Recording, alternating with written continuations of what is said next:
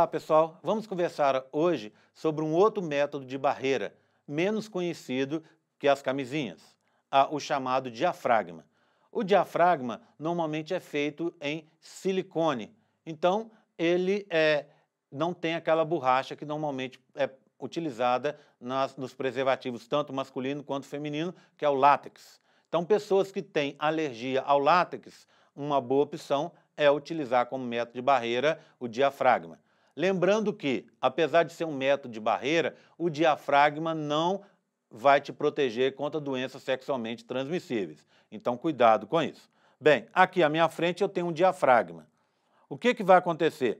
Antes de usar o diafragma, você vai ao seu ginecologista, ele vai fazer uma medida da, do tamanho da abertura do seu útero, do colo do útero, e vai te é, indicar um tamanho correto de diafragma. Você vai, encomenda esse diafragma e antes do ato sexual você pode colocá-lo.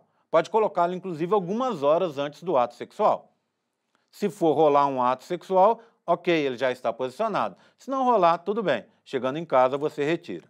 Se por acaso você tiver um ato sexual, é importante lembrar que esse diafragma que vai estar posicionado na entrada do útero, ele deve é, permanecer aí por em torno de 6 a 8 horas, para poder funcionar como uma barreira para os espermatozoides que ainda estiverem no interior da sua vagina. Outra coisa importante é que nessa face do diafragma aqui, você vai colocar um pouco de espermicida. Então, o espermicida presente aqui vai aumentar em muito a efetividade do método. Bem, em termos de efetividade, a efetividade dele está em torno da efetividade da camisinha feminina. Ou seja, é uma grande efetividade com baixa taxa de erros, mas que no uso ah, do dia a dia é, acaba tendo uma quantidade maior de falhas, ou seja, uma eficácia mais baixa.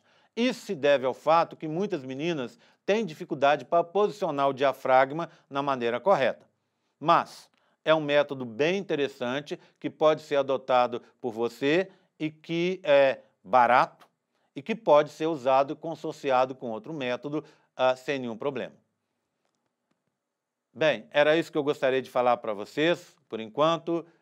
Muito obrigado e até a próxima.